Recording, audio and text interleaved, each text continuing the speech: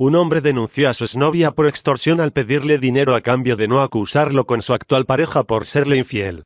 De acuerdo con el reporte, Mayra, N, exigió mil pesos a su expareja para no revelar que seguían frecuentándose. El hombre decidió pagarle, pero también pidió denunció el hecho ante la PGJ de la Ciudad de México, por lo que la mujer fue detenida el lunes en la alcaldía Tlalpan en el momento en que recibía el dinero. El caso provocó revuelo en redes sociales, donde los usuarios se burlaron del joven debido a que, pese a sus esfuerzos por ocultarlo, seguramente la actual novia ya se enteró de su infidelidad.